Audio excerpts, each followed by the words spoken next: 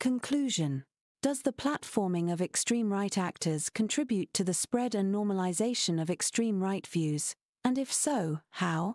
Using two large survey experiments based on real life interviews with extreme right political activists in Australia and the UK, we consistently find that giving a platform, no matter the type or style, to an extreme right activist leads to a change in perceived descriptive norms. Our study also suggests that uncritical interviewing leads individuals to agree with the statements made by the actor. Our findings on belief accuracy is consistent with a mechanism suggesting that people become persuaded of the accuracy of these views if they go unchallenged. However, the type of platform on which the extreme right actor diffuses his ideas does not appear to matter per se. Being exposed to an extreme right interview on a traditional mainstream TV channels or on the online platform YouTube has the same effect on attitudes and norms. Drawing on the UK experiment, we also show the relevance of a journalist's critical stance towards the actor and his statements. Individuals are more likely to agree with extreme right statements and think that others agree with them if the actor's extreme and false claims are not challenged by the journalist. Having a journalist challenge the actor's ideas counteracts the attitudinal effects that we observe in the unchallenged interview and has a large negative effect on how accurate people rate his statements. However, we find zero evidence that adverse interviewing makes people less likely to agree with extreme right statements compared to the placebo group. This is an important finding, which speaks directly to the popular claim that critical exposure damages extreme right ideas. It seems to have a negative impact on the actor, as respondents exposed to the adverse interview rate him as less credible. However, it does not appear to defeat extreme right ideas, only fight them to a draw.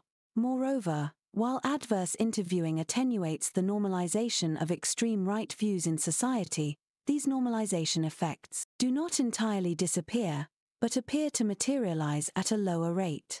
Platforming extreme right actors hence leads to a smaller change in descriptive norms, which cannot entirely be mitigated by adverse interviewing.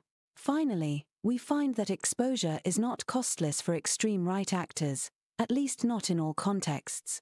While their name recognition increases overall, the image of the extreme right activist is consistently tarnished in the British experiment, with negative ratings increasing more than positive ratings after exposure. This is not the case in the Australian experiment, where both positive and negative ratings increase in tandem. This media platforming and the normalization of extreme right views. Diane Bolet Florian Foos. A.B. Stract.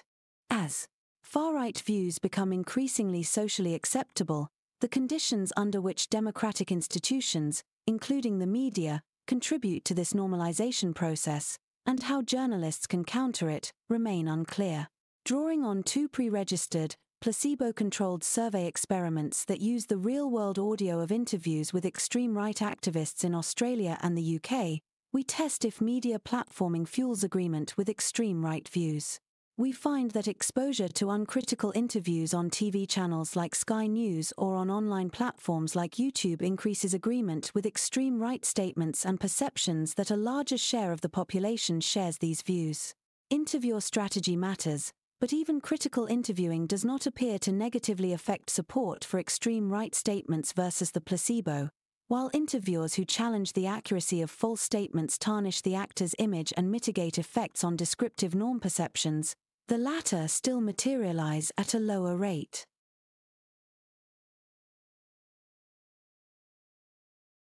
Introduction The far right's growing electoral success has been accompanied by the mainstreaming and normalization of their actors and ideas.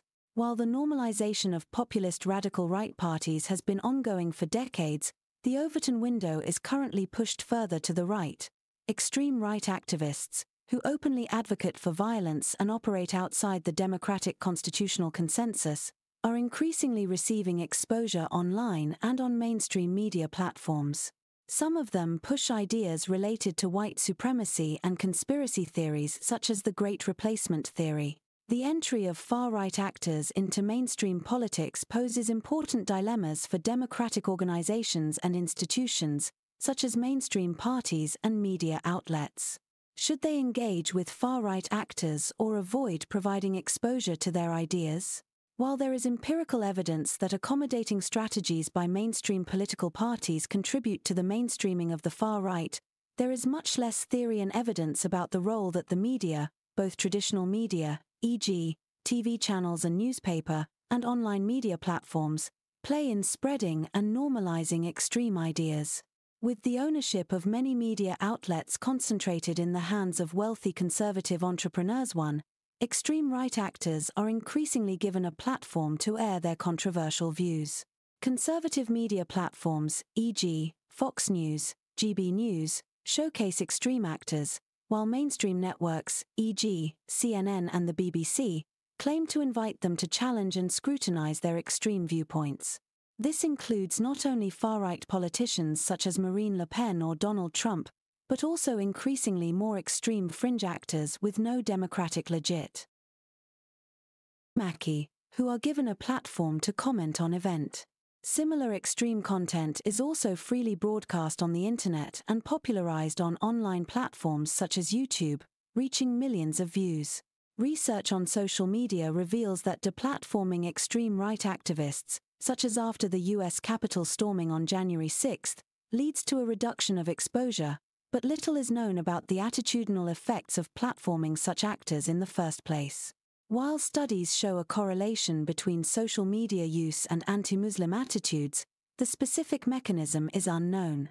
We contribute to the growing literature on the mainstreaming and normalization of the far right by exploring a specific mechanism through which exposure to far right ideas happens in everyday life media interviews that are broadcast on TV channels and on online platforms. While research has explored the impact of TV networks like Fox News and tabloids like the British Sun on right wing attitudes, political scientists have only recently started to investigate how media channels disseminate right wing views, for instance via selective partisan media exposure. We also contribute to the growing literature that looks at the effects of media portrayal of immigrants and refugees on political attitudes we show that media exposure to interviews with extreme right actors and exposure to their anti immigration views, on either TV or online channels, leads to higher agreement with extreme right statements and beliefs about their viability in the population. 2. Going forward, we use the term extreme right instead of radical right since the interviewed actors refer to claims that are opposed to aspects of liberal democracies, like minority rights, and legitimize anti democratic attitudes and the use of violence to pursue the actor's ideological aims.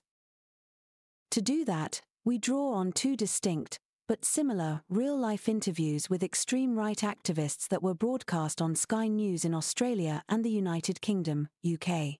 Relying on a series of carefully designed audio experiments based on these real life interviews, we calmed Bine increased realism with control over the treatments that study participants are exposed to, and the ability to debrief participants after exposure.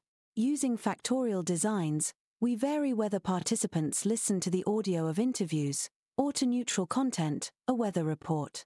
The second experimental factor varies whether the platform which broadcasts the interview forecast is a traditional mainstream TV channel, e.g., Sky News, 3. Or an online platform, e.g., YouTube.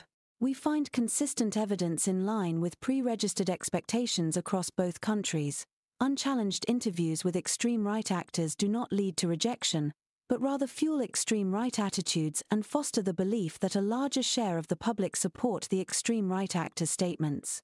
The media strategy adopted by the journalist appears crucial, as uncritical platforming spreads and normalizes extreme right views. When we randomly assign the interviewer to robustly challenge the extreme right actor in the British interview, the reputation of the actor decreases and effects on attitudes subside. Nevertheless, even critical interviews do not lead participants to move away from the actor's statements. Moreover, participants continue to update their beliefs about the viability of these views, albeit at a lower rate. Contrary to our pre registered expectation, our study also shows that exposure to extreme right actors on the online platform YouTube has a similar effect on attitudes and norms as platforming extreme right actors on the traditional mainstream TV channel Sky News. This effect is observed in both Australia, where Sky News has a slightly more conservative tilt, and in the UK, where it does not. Therefore, our results suggest that radicalization through platforming is driven by increased exposure to extreme right actors and their views rather than any added legitimacy conveyed by mainstream TV channels over online streaming platforms. Beyond its theoretical and empirical contributions, this paper has policy implications with regards to the platforming of extreme right actors on various media outlets. Across two different contexts, in well powered experiments, Exposing people to extreme right actors' views did not lead to a decrease in public support for those views. It consistently led people to believe that a larger share of the population agreed with such views. Amidst rampant consumption of extremist content on social media and its rise on traditional media, these findings have significant implications for researchers, politicians, and journalists alike.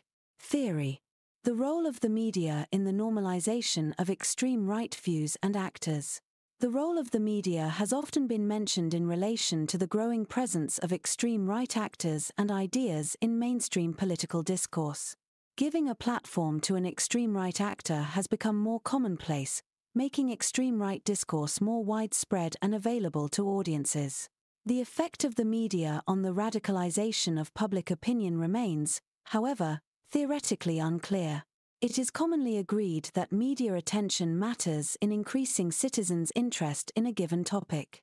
Quasi experiments, which have identified whether media outlets sway citizens' opinions and if so, in which direction, often treat media, non exposure as a black box. Survey experiments that identify the effects of exposure to different arguments find that individuals update their attitudes in the direction of the argument. Moreover, experiments that vary whether individuals are exposed to one sided or two sided frames show that one sided frames are more effective at swaying public opinion, while two sided frames, when they are equally strong, are likely to cancel each other out. Yet, one may wonder whether these findings apply equally to all types of messages and for the messengers, or if there is heterogeneity in how individuals respond based on the type of message and messenger that they encounter. A majority of people may be willing to reject extreme right arguments based on their political predispositions. In that sense, when individuals are exposed to extreme right content, those who are sympathetic to extreme right views, i.e., authoritarian individuals, would be even more supportive of such views, whereas those who normally reject them, i.e., liberal individuals, would oppose these views even more. This directly relates to what scholars call the backlash thesis, which posits that, when individuals are exposed to counterattitudinal evidence, their pre existing opinions and beliefs are not challenged, but strengthened. Despite its theoretical relevance, the backlash hypothesis has lately received little empirical support, even when strong partisan cues are present. Another argument for why individuals might reject extreme right messages is that there still exist strong social norms that make such views undesirable. Social norms are shared standards of acceptable behavior which individuals learn over time and in a dynamic fashion. However, such norms have been eroding quickly in recent years. Key events such as Trump's 2016 victory in the US presidential election or the entry of extreme right legislators into parliament have changed social norms by signaling that radical right views have become normatively desirable in society. Once extreme right actors entered the White House or a national parliament, social norms have moved in the direction of favoring these extreme right views and actors. Extreme right attitudes and actors which used to be socially sanctioned, as norm defiers stigmatized, are now more socially accepted. Hence, individuals might perceive extreme right views as new social norms when the latter are accompanied by a strong signal like the platforming of an actor on media channels. Indeed, media platforming may be directly related to the ongoing normalization of extreme right views. The parliamentary entry of extreme right actors is, for instance, likely both a function and a cause of increased media coverage, especially since gaining more seats leads to increased media coverage, as well as more frequent and better access to public broadcasters. Thus, we expect that media platforming further normalizes extreme right views in society, sending a signal that more citizens than assumed subscribe to these views. Furthermore, media coverage may not only provide a stage from which to spread and normalize extreme right views, but it may also increase the legitimacy of extreme right actors by portraying what appears to be politically viable and respectable actors. Through platforming, the media confer legitimacy and authority to political newcomers and dispel voter doubts about their electoral viability. Since extreme right actors are usually marginalized in the political game, offering them a voice gives them the impression that they have a mass following and that they are the voice of the people. Media coverage can also make up for their organizational deficiencies and financial shortages by helping them become known, thus helping leaders of small organizations. Mainstreaming extreme right discourse is a political resource that can lift marginalized actors from obscurity and push them into the political mainstream.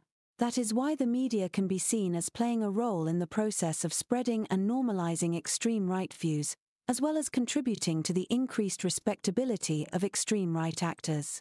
Based on these theoretical considerations, we pre registered the following hypotheses on OSF Persuasion and Normalization Hypothesis Subjects who are exposed to an extreme right actor's interview are more likely to A. agree with the views expressed in the interview, B. perceive that the rest of the population will agree with these views, and C. perceive that the actor is more respectable. The moderating role of platform type and journalist media strategy. We also examine two conditions under which exposure to an extreme right interview can further amplify those attitudinal and normalization effects the type of platform and the media strategies adopted by the journalists. First, extreme right arguments can receive more approval if they are conveyed on a platform which has a credible reputation. Studies have highlighted the importance that media reputations play in public opinion. Trustworthy outlets with well established reputations and high popularity are more likely to positively influence opinion than outlets viewed as non mainstream. While issue frames from an untrustworthy news source have been shown to be ineffective, the same frames that are shared by a trustworthy source can affect public opinion. We define a credible platform as a traditional media outlet that is known to the public and can reach a large audience, e.g., Sky News, and distinguish it to an online platform that can be unknown to people, e.g., a YouTube channel. While the public has a good sense of the media's overall trustworthiness of well known traditional outlets such as CNN or Fox News in the US or Sky News in Australia and the UK, our case studies, it is more difficult to assess the credibility of online outlets given the wide array of options in the digital media landscape. The number of online options individuals can encounter far exceeds the number of sources they are aware of, making it impossible for them to discern which online option is credible. This, of course, does not mean that all online platforms are not credible, but that online platforms do not have clear public reputations. An interview presented on a traditional media platform would thus be assigned more credibility compared to one featured on an online platform. We therefore pre registered the following hypothesis Platform type hypothesis subjects are more likely to A. increase support, F. or the views expressed in the interview, B. Perceive that a larger proportion of the population shares the views expressed in the interview, and C. Perceive the extreme right actor as respectable if the interview is broadcast by a mainstream platform compared to a non mainstream platform. Moreover, the media strategies adopted by journalists could further impact the support and normalization of extreme right views and actors.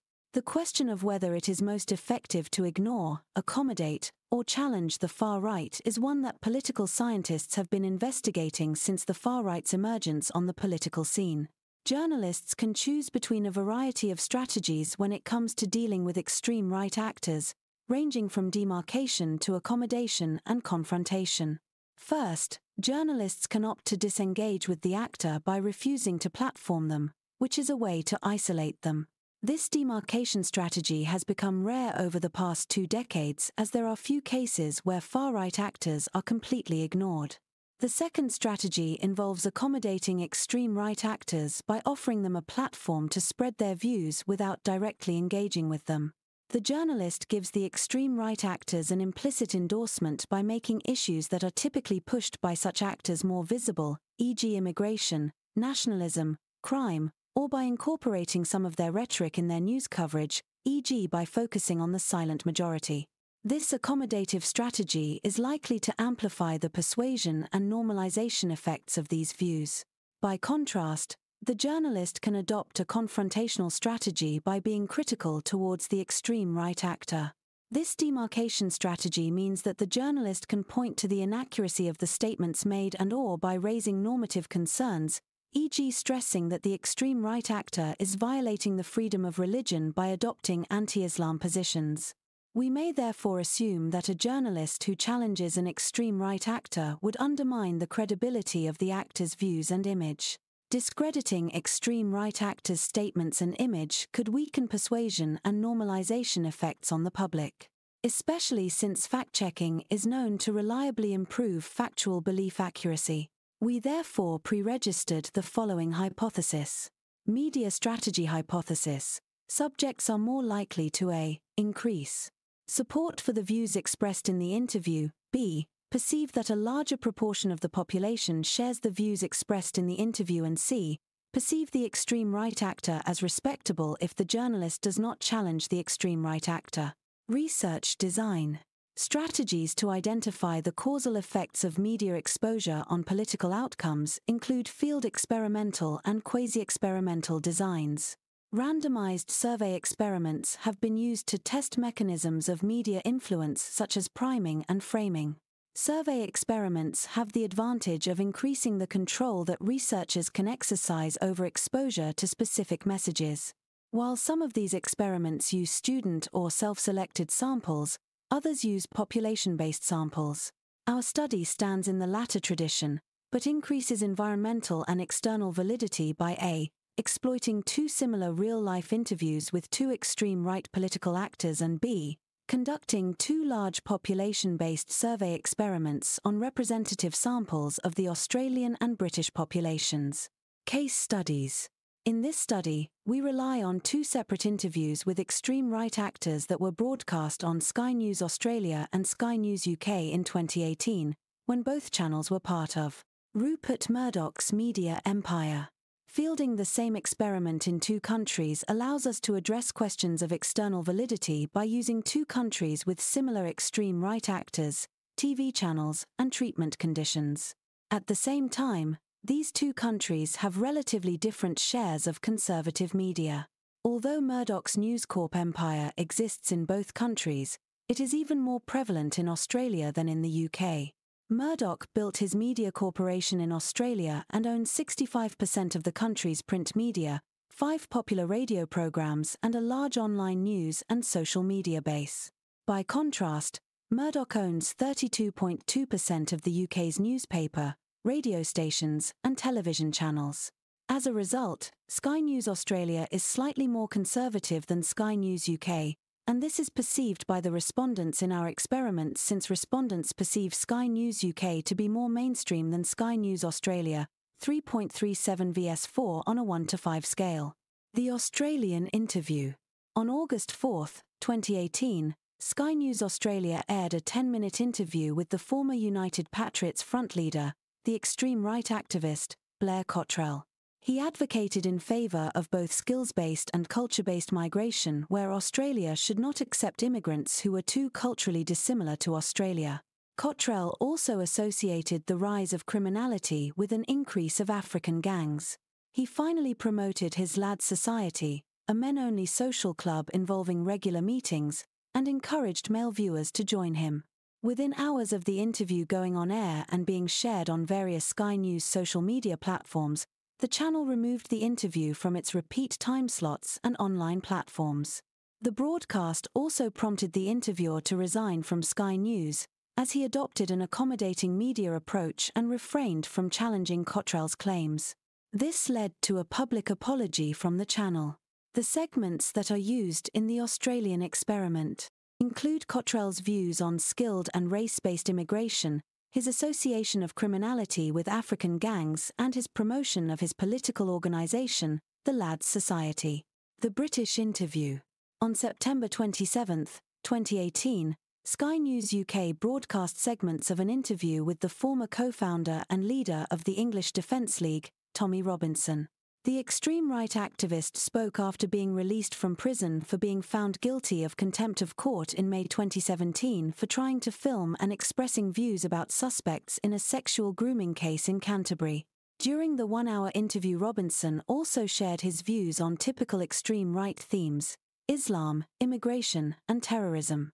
He notably praised the temporary halt of the construction of mosques and advocated for the introduction of a Trump style travel ban to restrict the number of refugees from failed states because he associated refugees with terrorist attacks. Robinson claimed that less people will be murdered and less girls would be raped if a travel ban would be introduced. These segments are comparable to the extreme right claims Blair Cottrell made during his interview. However, unlike the Australian experiment, Robinson was challenged by the journalist a few times. The journalist pointed towards normative concerns for violating basic principles of democracy, but also raised the inaccuracy of Robinson's claims.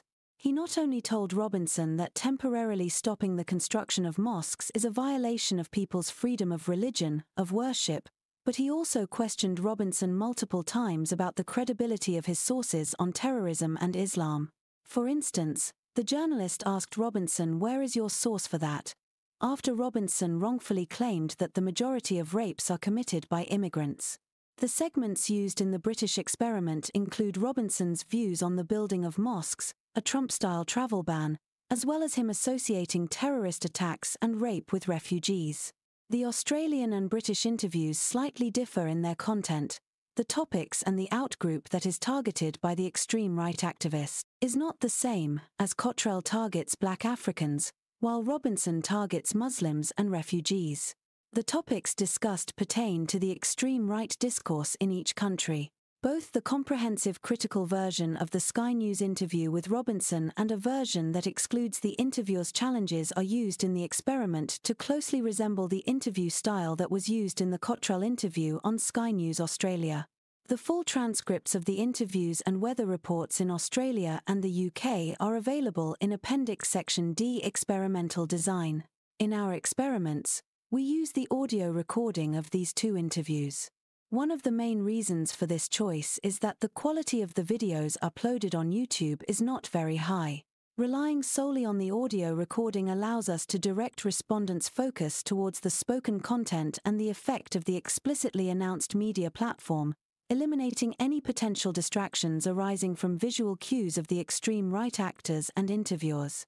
In order to minimize potential harms to participants from exposure to the interviews and from any questionable statements made during the interviews, we debrief them in full directly after outcome data collection. While this choice prevents us from collecting long term outcome data, we believe that it is necessary from an ethical point of view to correct any misinformation provided. We discuss our approach to debriefing participants in detail in Ethics Appendix B, where we also provide all information, consent, and debriefing documents. Both experiments received full ethics review and were approved by our institution's Research Ethics Committee under references 1050 and 92361. Main factors in the experiment. In both experiments, we use a factorial design, a 2x design in the Australian case, and a 3x design in the British case. The first factor varies the content that is broadcast. In the Australian case, we vary whether participants are exposed to the unchallenged interview with the extreme right activist or to a weather report, and in the British case, we replicate the first two categories and add a third one, a version of the interview, where the extreme right actor is challenged by the interviewer. This addition allows us to test the effect of the interviewer's strategy on extreme right beliefs and norms. While we use the exact same segments for the two groups that listen to the unchallenged and challenged interview in the British case, those in the challenged interview group also hear the journalist's responses and criticism of Robinson's claims. We use a weather report as the placebo condition because we assume the content to be neutral compared to the interview. The second experimental factor is the same across both experiments, a presenter announces at the start and the end of the segment that the interview is was either broadcast on Sky News or on the presenter's YouTube channel. An Australian and a British native speaker were recruited to announce the platform on which the interview and weather report were allegedly broadcast at the start and the end of the audio clip. These additions to the clip were meant to ensure that subjects understood the platform on which the interview or weather report was broadcast. Regarding the platform, even though some people may use YouTube as their main source of information, we consider YouTube to be less heavily regulated, and hence more likely to platform extreme content, especially on the extreme right. Indeed, YouTube is a space where extremism, hate speech, and hostility are not uncommon. It is popular among right leaning users, and studies have shown that YouTube is an attractive platform for people and organizations with extreme right views to recruit, organize, and radicalize others. YouTube's recommendation system also enables extreme right channels to be discovered. The Australian recordings last between 1.40 placebo to 2.30 minutes, and the British recordings last between 1.30 placebo to 2.30 minutes. We display the factorial design of the experiments in Table 1 below. To ensure that respondents complied with the treatments, respondents could not skip through the respective segments. They had to listen to them in full. In both countries, dropout rates are not significantly different across experimental groups. They range from 85 to 126 dropouts in the Australian case, and from 146 to 154 dropouts in the British case. Data collection and outcome measurement. We fielded the experiments on nationally representative samples of the Australian and British adult populations, N equals 5062 in Australia and N equals 5482 in the UK. Both experiments were administered by the high quality survey firm Survation. The Australian experiment was administered over two rounds between 1 to 9 December 2020 and 2 to 9 March 2022, and the British experiment was fielded from the 21st of July to 1 August 2022.10. This resulted in around 1,250 respondents per group in the Australian case and 950 respondents in the British case. To test our hypotheses, the post treatment surveys included multiple items measuring extreme right attitudes, four items in the Australian experiment and five items in the British one, extreme right norms, four items in the Australian experiment and five items in the British one, and the respectability of the actors, one item per survey. Concerning extreme right attitudes, we asked respondents how much they agreed with each extreme right statement mentioned by the extreme right actor in the interview. We adapted the statements based on what each actor was talking about. Cottrell talked a lot about immigration and criminality, while Robinson focused more on terrorism and Islam. All items are highly correlated, so we take the mean of the items and reweight the single item on a scale ranging from 0 to 1, one means that respondents fully agree with Cottrell's Robinson's views. We present the results with the attitudinal scale in the main analysis, but results are comparable for each item, as shown in tables E and E in the appendix. The variable on extreme right norms relates to items that asked respondents to rate the percentage of Australians British that agree with each of Cottrell's Robinson's extreme right statements. This variable refers to descriptive norms that capture people's perception of how society actually thinks about these statements. This variable, which has been traditionally used to measure social norms in existing studies, differs from individual attitudes and how an individual thinks about these claims. Since all items are also highly correlated, we take the mean of the items and reweight the single item on a scale ranging from 0 to 1, one means that respondents think 100% of Australians British agree with Cottrell's Robinson's views. We show the results of the scale in the main body, but findings are similar for each item. See tables E and E in the appendix. Our last outcome variable asked respondents how respectable they think the extreme actor is on a five point scale. The question, which is the same in the Australian and the British experiments, is recoded into a categorical variable because there is some differential attrition as a function of the treatment, where respondents are less likely to answer don't know in the interview conditions, see Table F. In the appendix, those who do not find the actor respectable take value 0, those who find him respectable take value 1, and those who don't know take value 2. We then analyze this question using multinomial logistic regressions. We deviate from the pre analysis plan as excluding don't knows from this question could introduce bias into our estimates. We discuss this change and other minor changes to the pre analysis plan in Appendix C. Recorded pre treatment covariates include gender, age, region, education, political ideology, authoritarian libertarian attitudes, and vote in the 2019 general election. We also add a question in the British survey on whether respondents voted leave or remain in the European Union in the 2016 referendum. Our treatment effects are estimated using OLS regression models with HC standard errors when we regress the attitudinal norms outcome on the experimental conditions. We deviate from our pre analysis plan concerning the respectability question and use a multinomial logit regression in this case. We test all predictions in country-specific models without and with covariate adjustment. Results are consistent throughout and do not depend on model specifications. Additionally, we present our results with the full sample because our manipulation checks were successful, see Table F. While both survey experiments are very well powered and similar in substance, we made a few additions in the UK experiment, where we included additional manipulation and attention checks and randomized the order of the outcome variables. We also added two secondary outcome variables in the British study. For more information on the changes that were made and the power analyses, see our pre analysis plan of the British experiment. The questionnaires of the Australian and British experiments are displayed in Appendix Documents A and A results. Interview effects on agreement with extreme right statements. Table 2 displays the results of platforming the extreme right actor on individuals' support for extreme right attitudes in Australia, models 1 to 4, and the United Kingdom, UK, models 5 to 8. We find that respondents who listen to the unchallenged interview, as opposed to those who listen to the weather report, are more likely to conform to the actor's extreme right attitudes in both countries, regardless of the platform that is invoked. The effects are highly statistically significant across the board, at p less than 0.001 significance level, comparable across the two countries and remain similar when we adjust for pre-treatment covariates.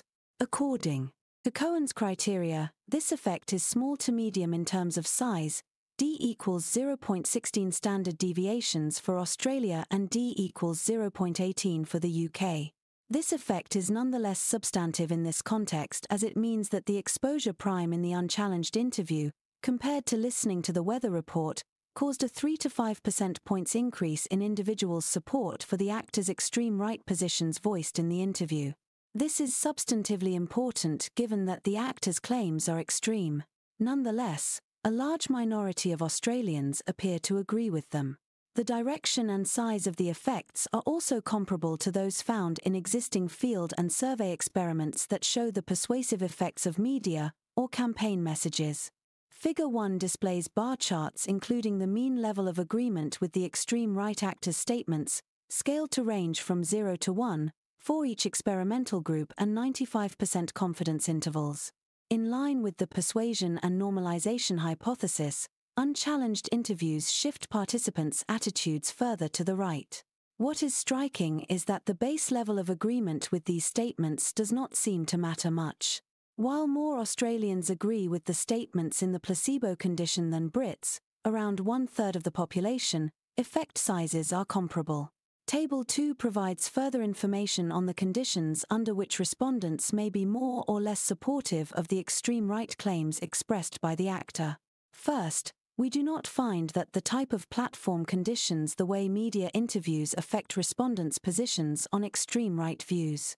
The effect of the type of platform, as well as the interaction between the interview and the platform, are small and non significant across the board and in the two countries.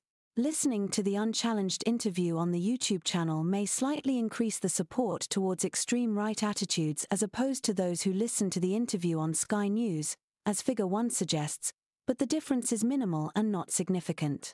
Although this finding goes against our expectations on the type of platform, it corroborates Peterson and Allemang's study that shows that, conditional on exposure, unfamiliar news sources are as effective at shifting public opinion as familiar. Media with established reputations. Additionally, we find that if the journalist challenges the extreme right activist, updating effects of the extreme right interview do not materialize. Indeed, Table 2 and Figure 1 show that British respondents who listen to the challenged interview are no more inclined to agree with extreme right positions than those who listen to the weather report, as the effect is non dash significant and equal to zero in models 5 to 8. Moreover, the effect of the challenged interview is significantly different from the effect of the unchallenged interview, Table 2. This means that the journalist's critical questioning balances the effect of the extreme right activists' words.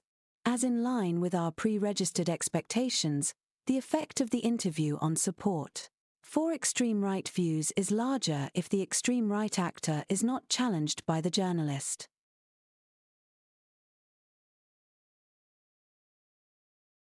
Interview effects on descriptive norms. We now check if exposure to an extreme right interview affect people's perceptions of descriptive norms as they relate to extreme right statements. Table 3 and Figure 2 replicate the analyses on attitudes, but with a different dependent variable that asks respondents about the proportion of Australians British they think agree with the statements. We find that respondents who listen to the unchallenged interview are more likely to think that society agrees more with these extreme right views than those who listen to the weather report, regardless of the platform. The effects are statistically significant at the 0.001 level in both countries. Listening to the unchallenged interview increases people's belief that society has moved in favour of these extreme right views by 2 3% points in Australia and by 6% points in the UK, as opposed to listening to the weather forecast. These effects translate into small to medium size effects in both countries. D equals 0.16 in Australia and D equals 0.22 in the UK, and are thus comparable in size to the effects we found on individuals' approval of extreme right statements. Moreover, in the Australian case, the effect on normalization is only significantly different from zero on the Sky News platform, although the interaction between the platform and the interview is not statistically significant. There is no suggestive evidence of an interaction between platform and interview in the British case. Overall, we do not find that descriptive norms are affected by the platform on which the interview was reported. Listening to the interview where a message is cueing a traditional mainstream platform as opposed to an alternative online platform does not increase people's beliefs that society agrees with the claims promoted by the extreme right actor. In line with our expectations, listening to the challenged interview attenuates the normalization effect, but does not entirely reverse it. As shown in Table 2, the normalization effect declines from 6% points to 2% points in substantive terms, but a 2% point increase is still significantly different from zero at the 0.05 level. Therefore, the unchallenged interview still causes a 2% point increase over a baseline of 34% in people's belief that society agrees with these extreme right views. This means that being exposed to an interview where the journalist adopts a confrontational stance towards the claims of the extreme right actor, as opposed to listening to a weather report, while not shifting attitudes, contributes to the normalization of extreme right views. Still, the effect is significantly smaller compared to those who listen to the unchallenged interview where the interviewer adopts an accommodative media strategy while challenging the extreme right actor's claims is more effective than not challenging them at all, it does not fully reverse the normalization process. 12 Indeed, when we compare the challenged and unchallenged interview groups only, we find that those who listen to the challenged interview, especially those who listen to the interview on the YouTube channel, think that a smaller percentage of people agree with extreme right views, as opposed to those who listen to the unchallenged interview See Figure 2 and Table F in the appendix. Interview effects on the respectability of the extreme right actor.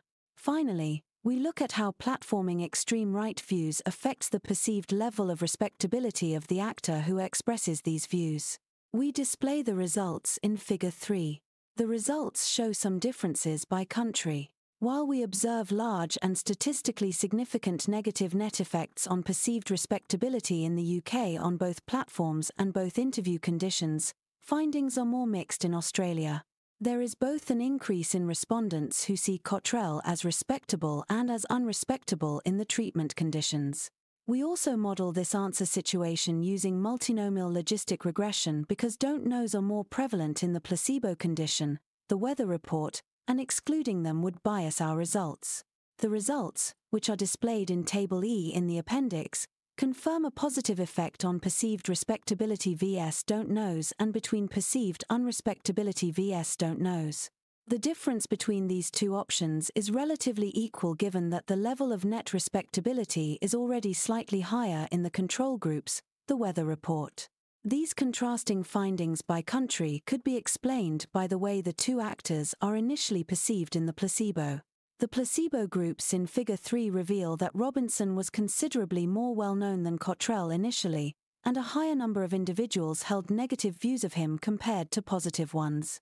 In contrast, Cottrell was an unknown figure. This suggests that giving a platform to unknown extreme right actors might lead to polarized opinions, while it might backfire on those who have already a relatively high level of notoriety.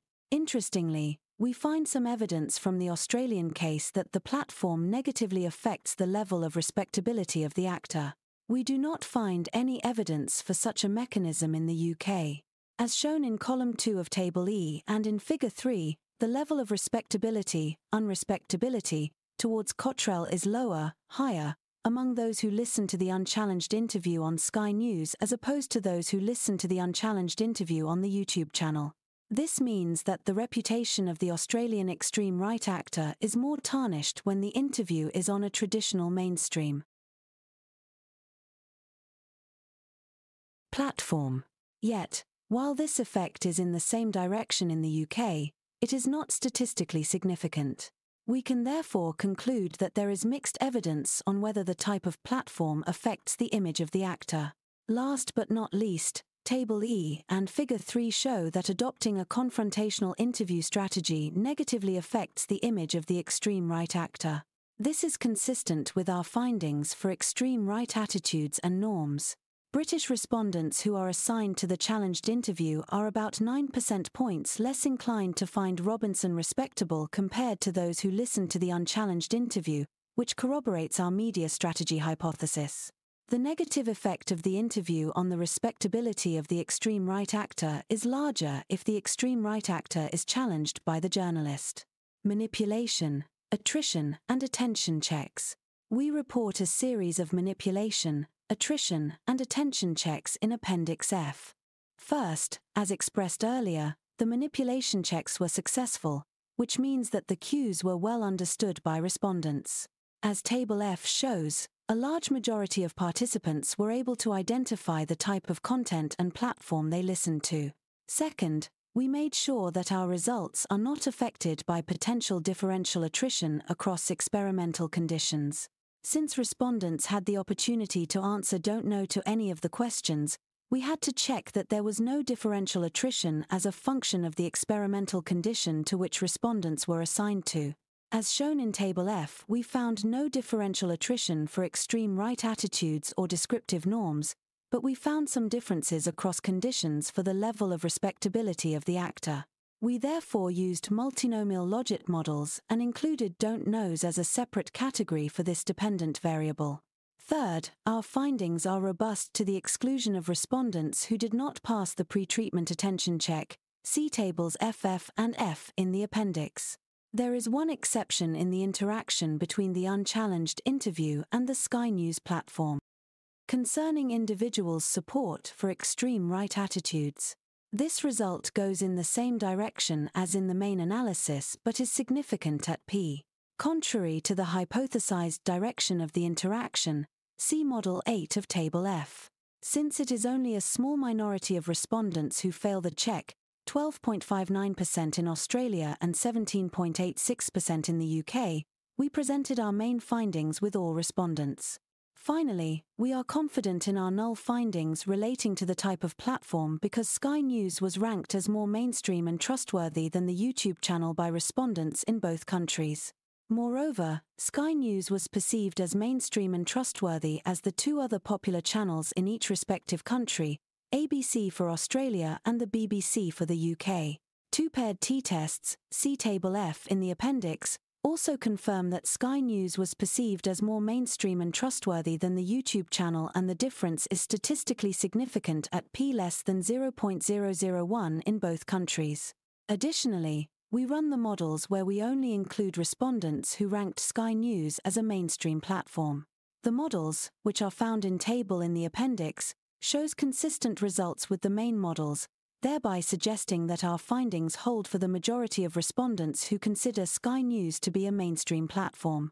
Mechanisms while we have established that the media platforming of extreme right activists influences individuals' support for extreme right statements and their perception of others' endorsement of these statements, we found that the type of platform, YouTube or Sky News, on which the interview was allegedly broadcast does not impact respondents' attitudes or beliefs.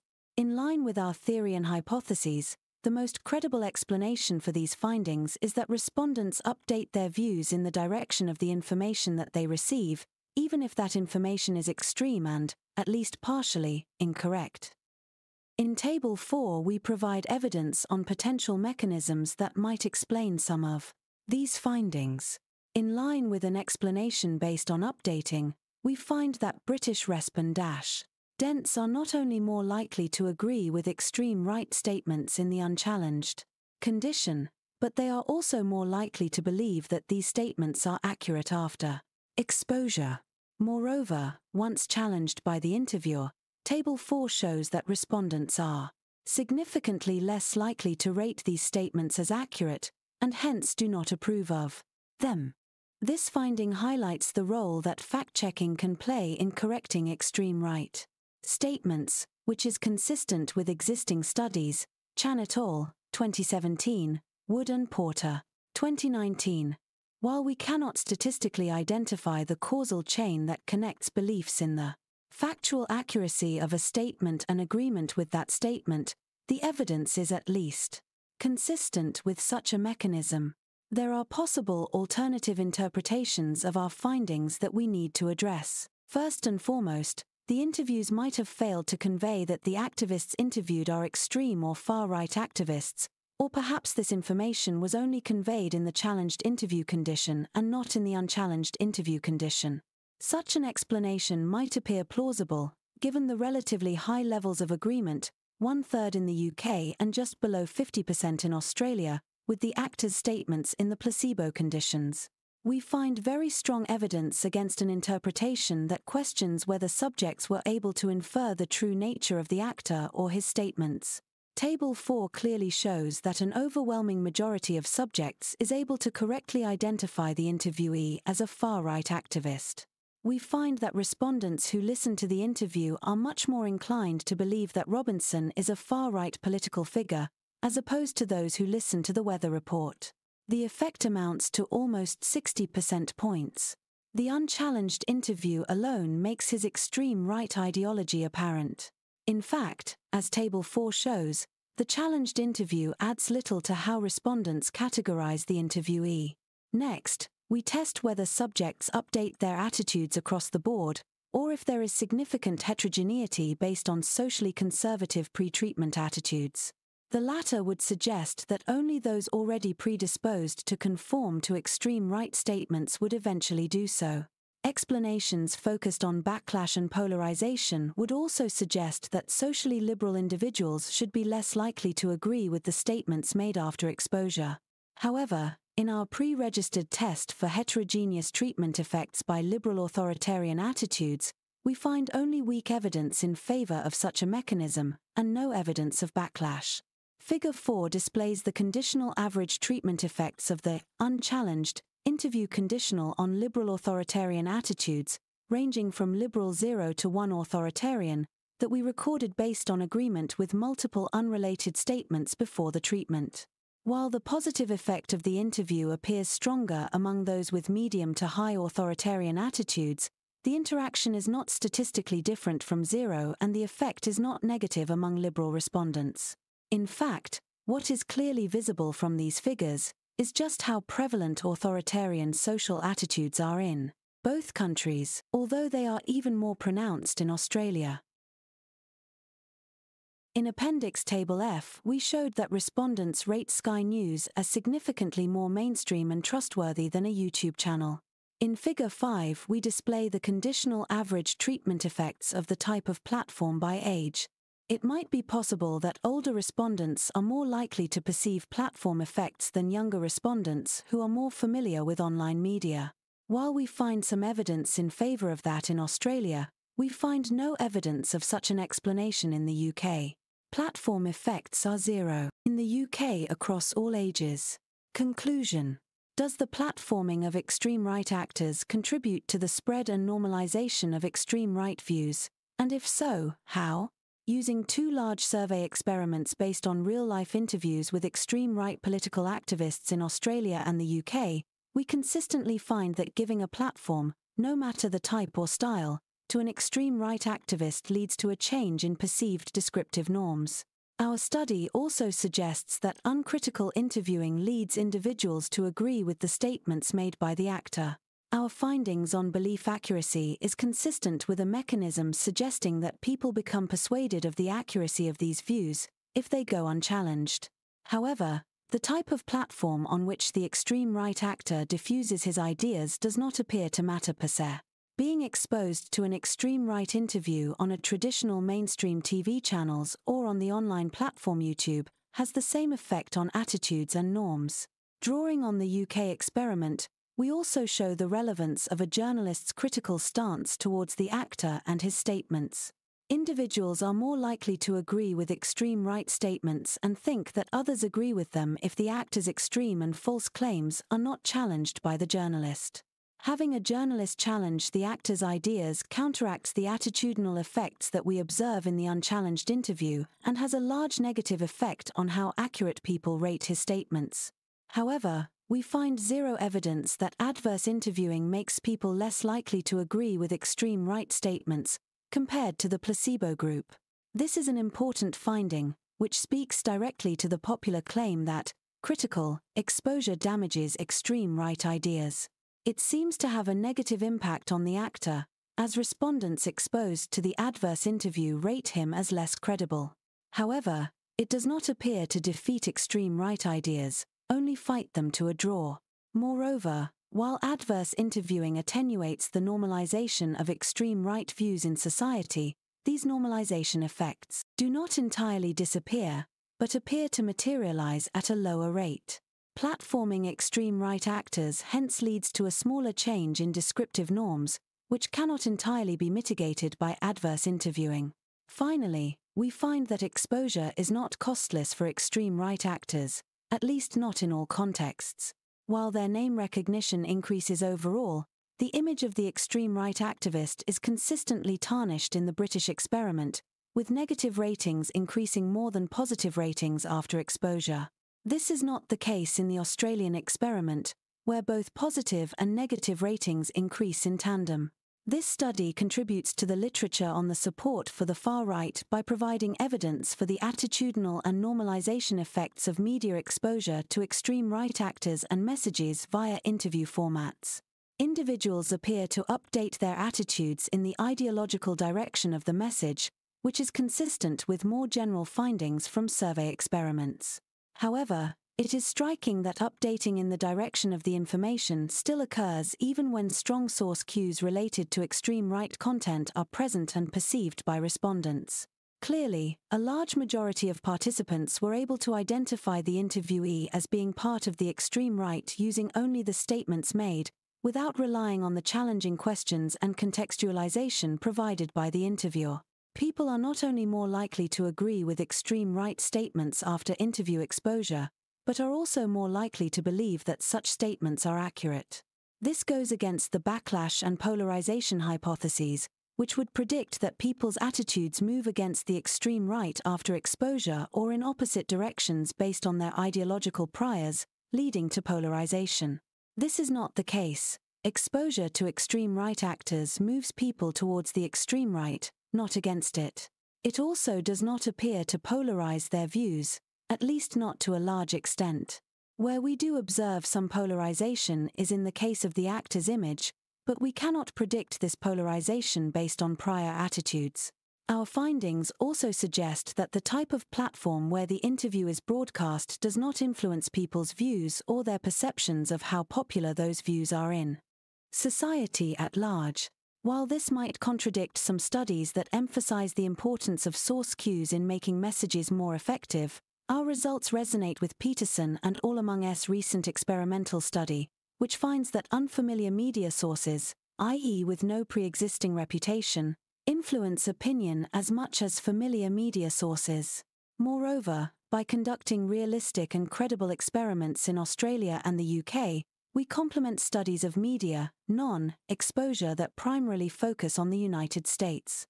Our experiments combine a high degree of internal validity with environmental and external validity by using real life interviews and reaching similar conclusions in both Australia and the UK. At the expense of not being able to detect if these attitudinal and normalization effects are durable, we can show that persuasion and normalization effects are consistent in two countries with varying shares of conservative media.